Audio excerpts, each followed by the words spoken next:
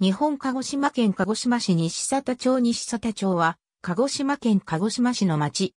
旧鹿児島郡吉田郷西里浦村、鹿児島郡吉田村、大技西里浦、鹿児島郡吉田町西里浦。郵便番号は891-1301。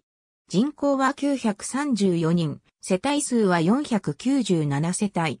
鹿児島市の北部、重井川の上流域に位置している。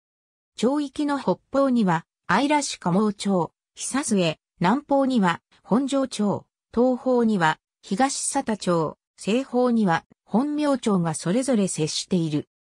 町域の中央部にある桑の丸交差点で、鹿児島県道25号鹿児島鴨線と、鹿児島県道40号移住院鴨溝辺線が交差し、東端にある吉田町六交差点で県道25号と鹿児島県道57号六重富停車場線が交差する。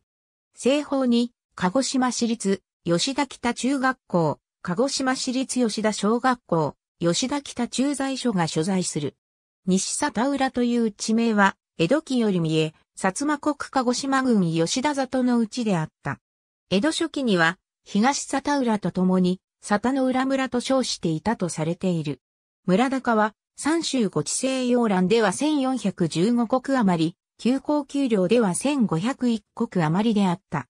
1889年に町村制が施行されたのに伴い、江戸期の西里浦村は吉田村の大技、西里浦となり、1972年に吉田村が調整施行し吉田町の大技となった。